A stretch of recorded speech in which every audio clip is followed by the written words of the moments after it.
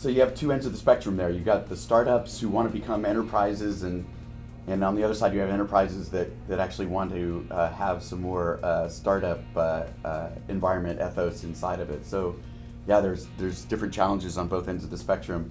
We like to uh, the context we like to look at that in is, is really what we have in the book as the innovation spectrum.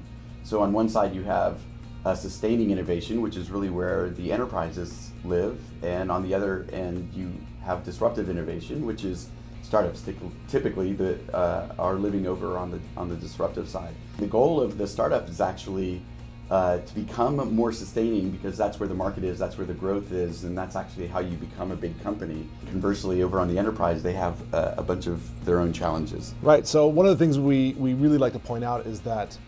Uh, it's not enough just for an enterprise to say, "Hey, you know, startup culture, dude. We're, you know, let's get the Nerf guns. You know, let's get the the mint water on tap. Let's, uh, let's, uh, you know, have the super cool uh, office."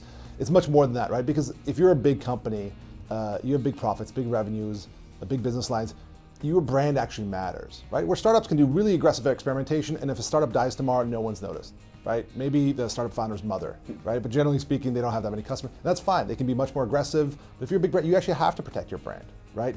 You also have HR issues. There's differences with people who uh, who enjoy more process-oriented uh, type of work, and versus people who actually seek chaos, right? So how do you know which talent to put where?